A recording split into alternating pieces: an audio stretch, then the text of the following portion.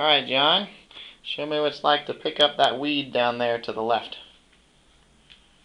Good. Okay. Now we're going to take that pin, try to put it in the same spot over here.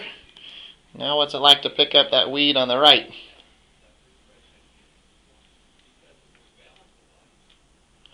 That's where the shake starts to come in. Good. Excellent. Now so, not what it, yeah, better than it used to be, but still tougher.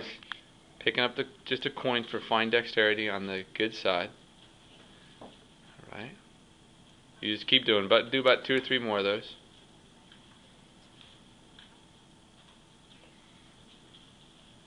Okay. And go ahead now after this one and pick up that. And there's his dexterity. Look at that change.